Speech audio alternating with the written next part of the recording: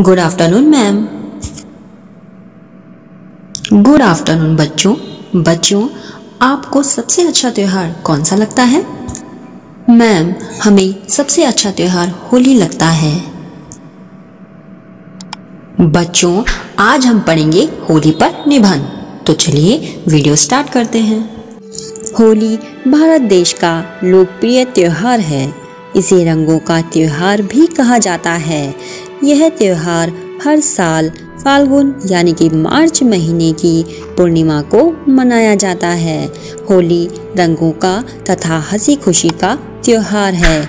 होली हिंदू धर्म का प्रमुख त्योहार है, लेकिन इसे सभी धर्मों के लोग मनाते हैं। होली मनाने का कारण यह है कि इस दिन श्री कृष्ण के भक्त प्रहलाद अग्नि में से जीवित वापस आए थे। होली उत्सव दो दिवसीय या दो दिन का त्योहार है। पहले दिन की रात को सभी लोग होली का दहन करते हैं, इसलिए इसे होली का दहन भी कहा जाता है। दूसरे दिन सभी रंग और गुलाल से खेलते हैं। भारत में होली का उत्सव अलग अलग प्रदेशों में अलग अलग तरीकों से मनाया जाता है। होली का त्योहार लोग आपस में गले लगकर और एक दूसरे को रंग लगाकर मनाते हैं।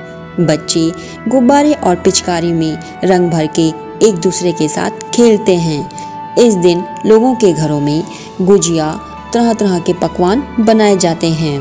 होली बुराई तथा अच्छाई की विजय का प्रतीक है।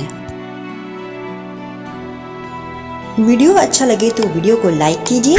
चैनल में नए हैं तो चैनल को सब्सक्राइब करना ना भूलें। Thank you for watching.